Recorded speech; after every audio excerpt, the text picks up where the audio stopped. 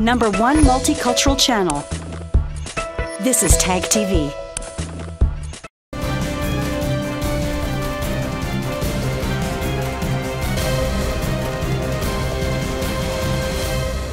Hello viewers, welcome to Newsweek South Asia, a program that talks about breeding of terrorism and its impact on South Asian nations. Let's begin with the headlines first.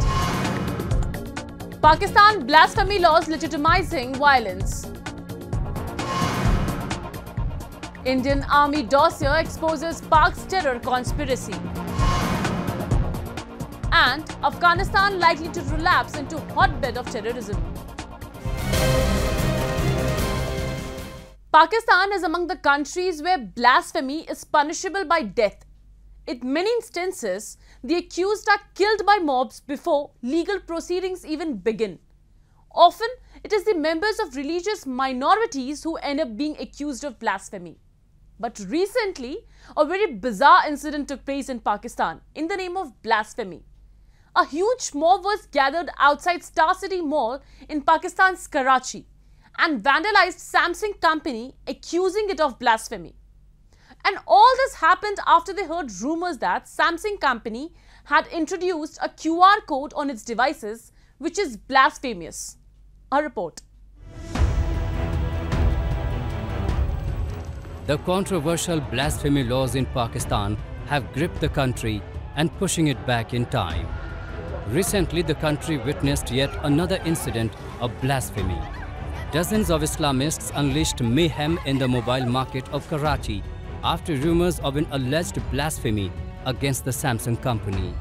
The protesters tore down the billboards of Samsung in the city and indulged in vandalism after they heard that the company has committed blasphemy against Islam. The company faced the ire of the angry Tehreek-e-Labbaik Pakistan members when initial rumors circulating about the incident said that Samsung had introduced a QR code on its devices which is blasphemous. Following the protests, police in the city detained many company personnel and later Samsung was forced to issue an apology. This is not the first case of its kind. Last year on December 31st, a Pakistani man threatened a Pepsi company's truck driver with dire consequences if the QR code on a 7-Up soft drink bottle is not removed by the company. Almost every day someone in Pakistan is facing the allegation of blasphemy, a charge which makes his or her life vulnerable for the entire life.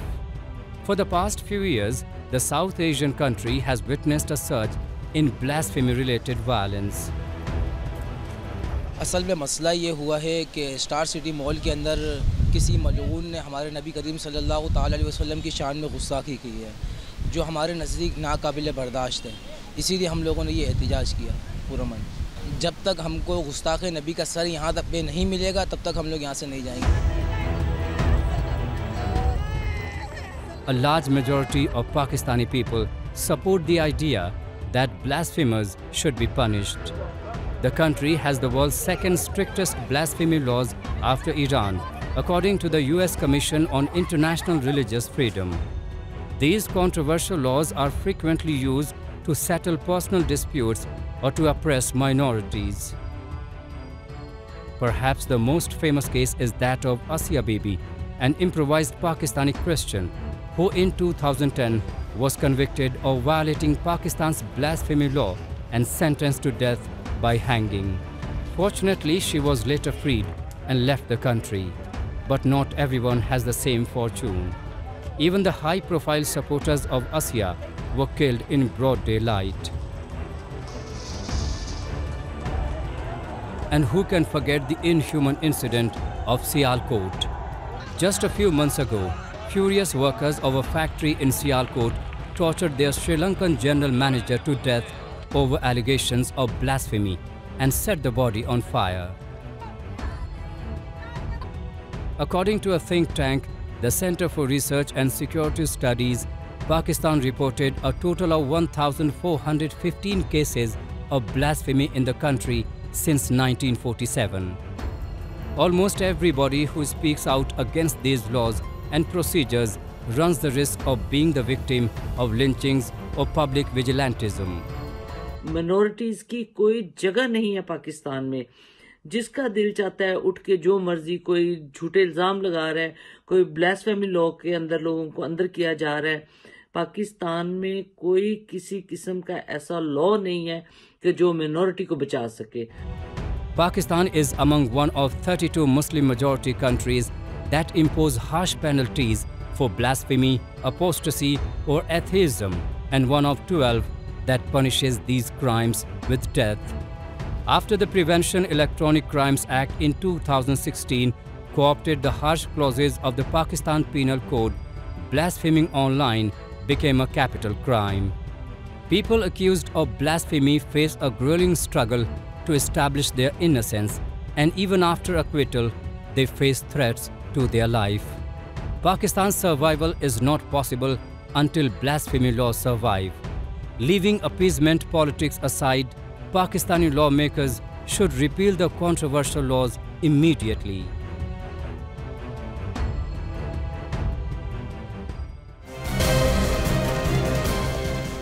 Pakistan has been one of the most prolific state sponsors of terror, aimed at advancing its national security interests. Over the course of the past three decades, Pakistan's army has built a complex network of relationships with numerous jihadist terror groups, including the Taliban. Recently, a 33-page dossier by the Indian Defence Ministry unmasked Pakistan's nefarious terror designs aimed to bleed India. The dossier details how the Pakistani establishment, including its army, carries out infiltration bits across the borders. It also points to how the Hindus, a minority in Pakistan, are being butchered. Take a look. India for decades have been facing the brunt of Pakistan's state-sponsored cross-border terrorism. There exists a well-established nexus between Pakistan's civilian government, military, inter-services intelligence and the numerous terrorist groups trained and armed in the country. Role of Pakistan is well established in the numerous terror attacks carried out against India. Recently, a 33-page dossier by the Defence Ministry has unmasked Pakistan's nefarious terror designs aimed to bleed India. It has pointed out to how the Hindus, a minority in Pakistan, are being butchered.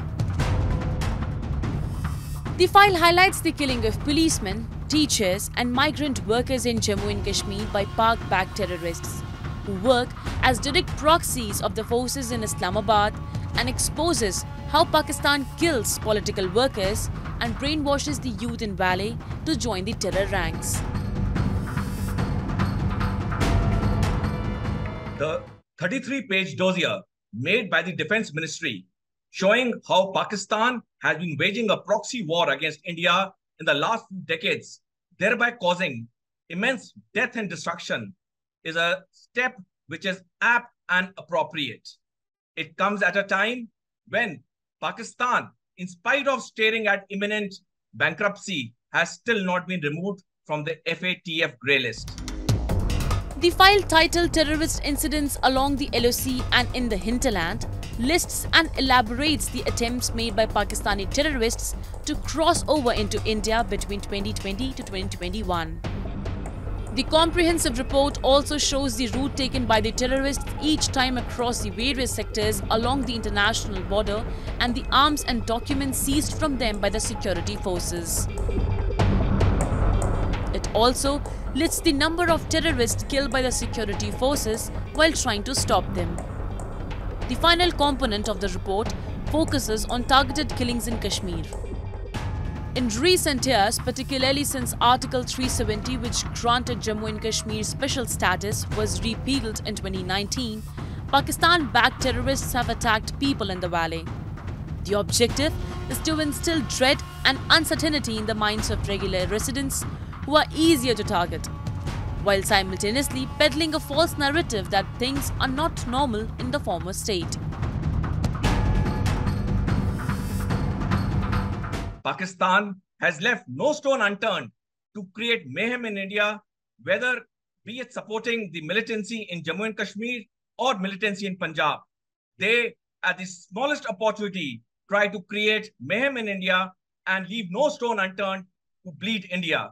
This dossier by the Defense Ministry will go a long way in apprising the international community of the terror acts that Pakistan employs as its state policy against India. Several camps have also been established across Pakistan and Pakistan occupied Kashmir for training of the terrorists. Most of them are usually lured for monetary gains or brainwashed with fanatic ideologies. And now, the country is also facing the brunt of this measure as the Pakistan army has been on the target of the Pakistan Taliban. Countries with regressive thinking that are using terrorism as a political tool need to understand that terrorism is an equally big threat for them. But the real question is that will the Pakistan learn from these experiences and mend its way to ensure its own growth and success? Only time will tell.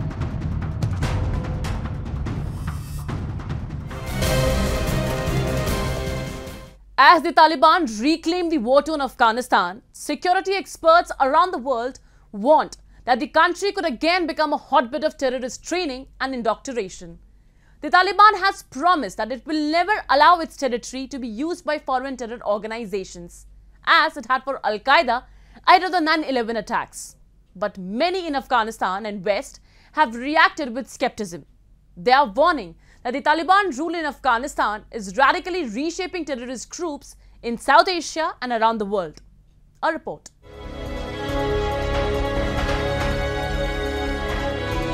Violence is intensifying in Afghanistan months after the United States retreat allowed the Taliban to return to power, fueling concerns that the country may again become a hub of instability and terrorism across South and Central Asia and beyond. Afghanistan has long been a base for terrorists with ambitions for global jihad. Dozens of groups that have been present since the Taliban's last turn in power from 1996 to 2001 are again operational, looking for opportunities to expand their reach. But the de facto rulers of the war-torn country do not seem to be concerned as they are desperate to get recognition. Recently, the Jirgaon or Grand Assembly called for national support to the Taliban-run Islamic Emirate of Afghanistan and international recognition of the interim government. A resolution issued at the end of the three-day meeting called on Afghans to renew allegiance to Mullah Hibatullah Akhundzada, supreme leader of the Afghan Taliban's interim government and implementation of Sharia or Islamic laws in the country. It is important that the international community should gear up, should look at Afghanistan so that it doesn't go into the morass that it has come out of or become much worse than what we have already seen. And it's important, it will be the responsibility of the international community, which has brought the world and Afghanistan and Afghan people to this stage. And so that's the most important thing. I would say that stability, support, humanitarian otherwise, India is doing its bit, whatever it can. But then other countries need to do that so that the regime does not decelerate into uh, something much worse, in my view.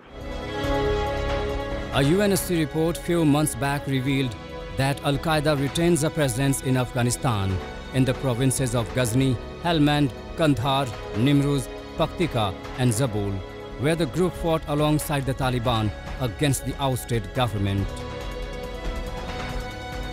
The report also claimed that slain Al Qaeda leader Osama bin Laden's son visited Afghanistan last year. It further revealed that Amin Muhammadul Haq Sam Khan, who coordinated security for bin Laden, returned to his home in Afghanistan in August last year.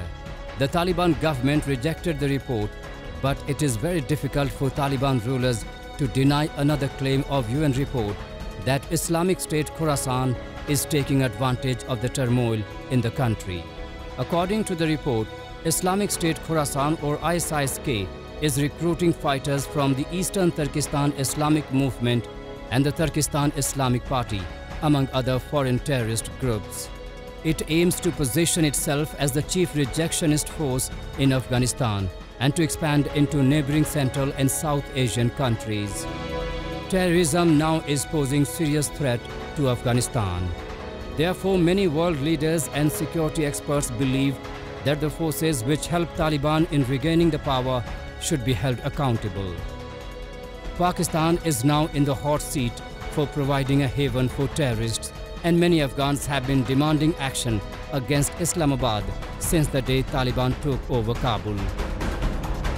The UN member states are concerned that if Afghanistan descends into further chaos, some Afghan and foreign violent extremists may shift allegiances to Islamic State. But the problem is that now with the Russia Ukraine crisis, obviously the focus on Afghanistan or any other war is much less. And that is the pity of it all. And this has been often mentioned by our leadership as well. That they create problems and then they leave them. And that is not good. The conflict landscape of Afghanistan is diverse and multifaceted, characterized by rivalries between jihadist groups and competition for recruits. The impacts go beyond the borders of Afghanistan. The events in Afghanistan therefore continue to demand great attention.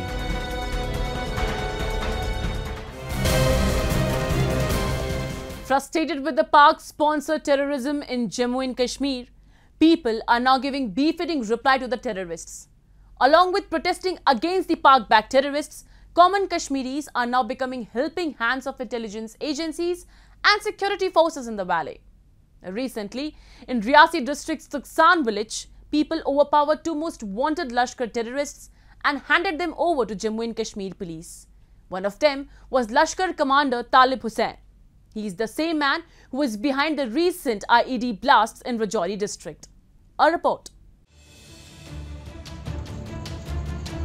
Pak-backed terrorist groups seem hell-bent to revive terrorism in Jammu and Kashmir that have by and large remained peaceful for the past few years. But all their attempts have been going in vain. As not only the security forces but now even the people of Kashmir are raising their voice against terrorism. Recently, in Jammu and Kashmir's Reasi district, residents of Tuksan Dhok village overpowered two most wanted Lashkar-e-Taiba terrorists and handed them over to Jammu and Kashmir police. One of the two terrorists apprehended was Lashkar commander Talib Hussain, who was the mastermind behind the recent IED explosion in Reasi district. Hussain was in constant touch with LET terrorist Qasim, based in Pakistan, and was involved in at least three cases of IED blasts at Rajouri district, besides civilian killings and grenade blasts. Another terrorist was identified as Faisal Ahmad Dar of South Kashmir's Pulwama district. Two AK-47 rifles, seven grenades, a pistol and a huge quantity of ammunition were recovered from them. मैं भी किया, मैंने भी पिया, थोड़ी सी चाय, मैंने मुझे नज़र पड़ गई बैग पर तो मुझे शक पड़ गया, ये क्या है? उसके बाद फिर अंधेरा भी हो गया तो उसके बाद वो बोलने लगे, आप चलो हमारे साथ। तो हमें जाना है कहीं। तो मैंने बोला, मैं नहीं आ सकता हूँ तुम्हारे साथ कुछ भी। मुझे एक लड़की है तो ये छोड़कर आपके साथ मैं नहीं आ सकता हूँ। तो मैं नहीं गया फिर गुस्से में हो गया थोड़ा। तो उसके बाद वो वो भी रुक गए, बोलने लगे, हम भी रहेंगे इधर। मैंने बोला, बैठो। उसके बाद उन्होंने पूरा परिवार का नाम लिया हमारा। हमारा पिताजी का नाम लिया, हमारे बच्चों का नाम लिया। तो हमें शक पड़ गया कि हमें कुछ चांस आ रही है। The brave act of the Tuksan villagers is an indication that no one wants to support terrorism in Jammu and Kashmir. The Tuksan brave hearts have become an inspiration for every citizen of the Himalayan region. The terrorists have lost support in both Jammu and Kashmir regions. The Pakistan-sponsored terrorism is on its last legs and the 32-year-old insurgency is all about to end. Besides losing the supports of locals, the shelf life of the youth joining terror outfits has declined. According to the recent report of Jammu and Kashmir Police, from January 1st to May 31st this year, of the new terror recruits, only 26.6% survived for more than 12 months, while the fate of 9.3% of them was not known. Nearly 28.1% terror recruits were killed within one month, 54.7% within six months, and 59.4% within nine months. Security forces have developed a strong intelligence network on the ground, and it is the common man who is providing all the inputs to carry out the successful anti terror operations in Jammu and Kashmir. Terrorists, separatists, and the hate preachers are losing ground as the people of the Himalayan region want to be left alone so that they can live in peace and prosper. ये मुझे लगता है कि बहुत ही बढ़िया जो एक तरह का कदम जो इस जो जो हमारे नौजवान साथी जिन्होंने ये उठाया है, और जो दहशतगर्द पूरी तरह लैस थे अपने असला और मिशन देखा कितनी बड़ी मकदार में था, जिसमें पिस्टल भी शामिल हैं, एक फुट सैंपल भी शामिल है, आईडी भी अलग अलग तरह की शामिल हैं। इस तरह के सामान के बावजूद बावजूद भी अपनी हौसला और हिम्मत बहुत सारी उसकी दाद देते हैं, वो दिखाते हुए इन्होंने जो वहाँ पर काम किया, इनको पकड़ा और पकड़ने के बाद पुलिस को इतला दी। मुझे लगता है कि इसकी जितनी सराहना करें, जितनी इनकी हम लोग सब मिलकर प्रशंसा करें, वो कम है। ये एक बहुत अच्छी शुरुआत है और हम चाहते हैं कि इस तरह की शुरुआत जगह जगह पर हो।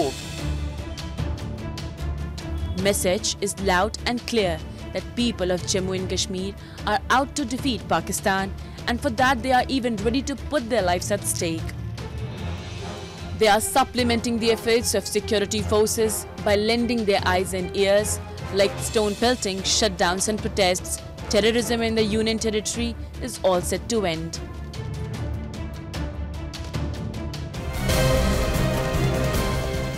And with that, we come to the end of this edition of Newsweek South Asia. We will be back next week with more news, views and analysis from the subcontinent. Meanwhile, do keep writing to us at nwsa at anin.com. This is Shivangi Mishra signing off on the behalf of the entire production team of Newsweek South Asia. Goodbye and take care. Subscribe Tag TV YouTube channel and press the notification button.